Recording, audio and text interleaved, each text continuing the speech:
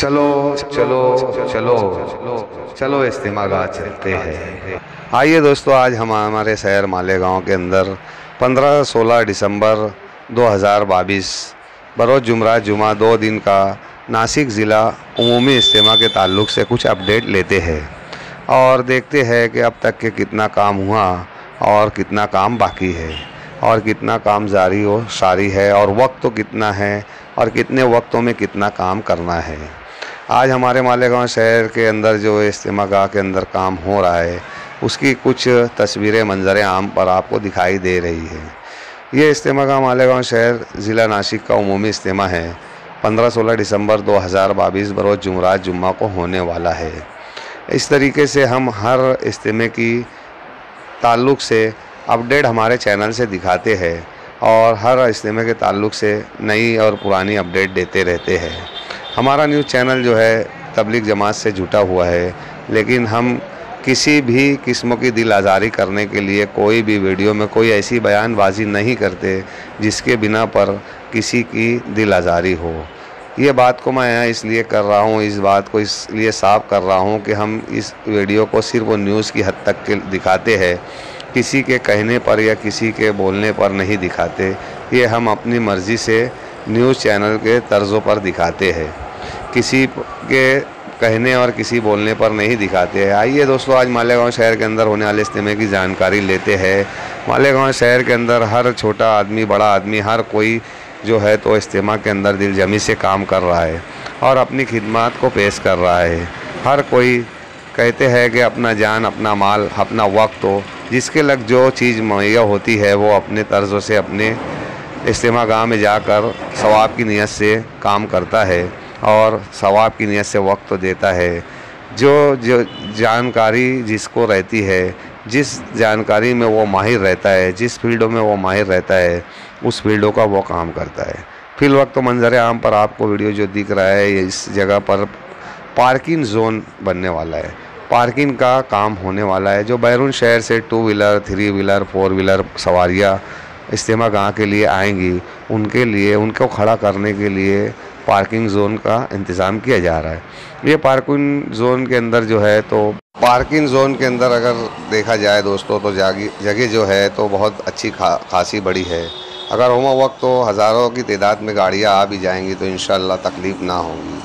और ये मैदान जो है इसमें कीमा वगैरह रहेगा और मैदान के अंदर जो जिस तरीके से साफ़ सफ़ाई का काम जारी और सारी है इन बहुत जल्द का, काम जो है तो मुकम्मल होगा और खीमे का काम भी शुरू कर दिया जाएगा। देखने में ये आ रहा है कि जिसको जो वक्त मिल रहा है वो अपने वक्तों के मुताबिक जो आकर काम कर रहा है और अपने तर्ज से काम कर कर वापस रवाना हो जा रहा है। जैसा कि पीछे इज्तिमा का मालेगांव शहर के अंदर हुआ और उसके अंदर भी मालेगांव शहर के शहरियान तबलीग से जुटे तमाम साथियों ने काम किया और कुछ एलानिया कुछ खुफिया काम कर कर अपना काम ख़त्म होने के बाद अपने रास्ते चल दिए। ठीक इसी तरीके से इस बार भी मालेगांव शहर के अंदर काम हो रहा है, कुछ खुफिया और कुछ एलानियाँ दोस्तों, आज देखने में ये आता है कि हर कोई चाहता है कि वो सिर्फ़ वो अपना अजर जो है, अल्लाह और अल्लाह रब्बुल आलमीन से ही ले।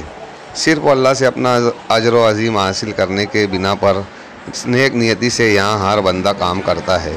और देखने में ये भी आता है कि मालेगांव शहर के अंदर बहुत दिलजमी से काम होता है और इतराब के, देहात के लोग जो यहाँ पर आते हैं, जैसे कि मनमाड़, सटाना, देवला, कलवन, चांदोड़ लासल गाँव और भी दिगर जैसे नामपुर वगैरह वगैरह, जो भी मालेगांव तालुका के अंदर देहात आते हैं, वहाँ के लोग भी यहाँ आकर बहुत दिल जमी से काम करते हैं।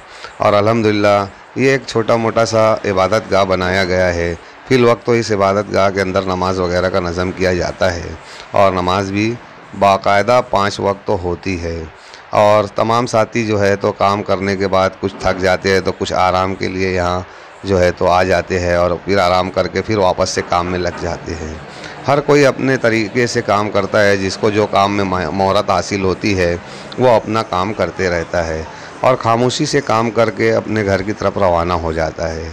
कुछ लोग जो है तो वहाँ क़याम भी किए हुए हैं, जो जागली का काम करते हैं, चौकीदारी का काम करते हैं और देख रेख का काम करते हैं और कुछ उसमें ज़िम्मेदार भी है, जो ज़िम्मेदारियों को निभाते हुए तमाम तर, काम करने वालों को तरकीब देते हैं। दोस्तों, मंजर आम पर जिस तरीके से मैदान दिख रहे हैं अच्छा खासा साफ़ हो चुका और कुछ बाकी है। और उम्मीद है कि वक्त तो आने से पहले मुकम्मल तैयारी हो जाएँगी और इन देखने में ये आ रहा है कि जिस तरीके से काम धीरे धीरे हो रहा है, लेकिन बहुत अच्छे तर्ज़ से हो रहा है। और हम हमारे चैनल से जितनी भी अपडेट आज तक के इस्तेमा के ताल्लुक से दिए हैं, हर अपडेट में अव्वल आखिर एक नई बात आपके सामने आया की है। इस अपडेट में आपको हम दिखाए हैं कि इस्तेमा का कितना काम हुआ है और कितना बाकी है। आने वाली अपडेट में हम ये भी दिखाएँगे कि कब तक ये काम मुकम्मल हो जाएगा। इसका टारगेट लेकर चलते हैं कि यहाँ से आज हमारे मालेगांव में जितना दिन बचा है, पंद्रह सोलह तारीख को आने को, ये तकरीबन 21 दिन यहाँ से बचा है। 21 दिन में और क्या क्या काम होगा, किस तर्ज़ों से होगा, इसकी भी अपडेट हम दिखाएँगे। इसके अलावा भी हिंदुस्तान भर में जहाँ जहाँ भी इज्तम गाह होगा, उसकी तारीखें हम आपको सुर्खियों में दिखाएँगे। इसके अलावा मालेगांव शहर से कितनी जमातें किस रुख जाने वाली है, उसकी तफसील भी हम आपको दिखाएँगे। दोस्तों, हमारे इस चैनल पर जितनी भी वीडियो इज्तम के ताल्लुक से हमने लगाई है, सब तबलीग जमात से जुटी हुई है, अपडेट दी है हमने। आप अगर तबलीग जमात से जुटे हो और हमारा वीडियो आप पसंद करते हो और आपको वीडियो हमारा चैनल पर दिखाई देता है तो इसे ज़रूर शेयर करें, ताकि हम हमारे हिंदुस्तान के या बैरून शहर के भी, बैरून ममालिक के भी, हर शहर के अंदर जो हमारे साथी काम करते हैं, वो देखते हैं कि हिंदुस्तान में हमारे तबलीग जमात के साथी किस तरीके की मेहनत हो रही है और की जा रही है, उनको भी अपडेट मिलते रहती है। आप अगर शेयर करते हो तो हमारे तमाम उन भाइयों तक के अपडेट जाती है, जो बाहर बैरून शहर में हैं और बैरून शहर में रह कर हमारे हिंदुस्तान की फ़िक्र करते हैं। शुक्रिया दोस्तों मेरा वीडियो पूरा देखने के लिए। जाते जाते एक बात ये कहूँगा कि आप अगर हमारे चैनल पर नए हो तो इसे ज़रूर सब्सक्राइब करना और अगर पुराने हो तो इसे लाइक और कमेंट ज़रूर करना। और वीडियो में कुछ कमी बेसिक रह गई हो तो हमें कमेंट करके ज़रूर बताना। शुक्रिया अस्सलाम वालेकुम वरहमतुल्लाहि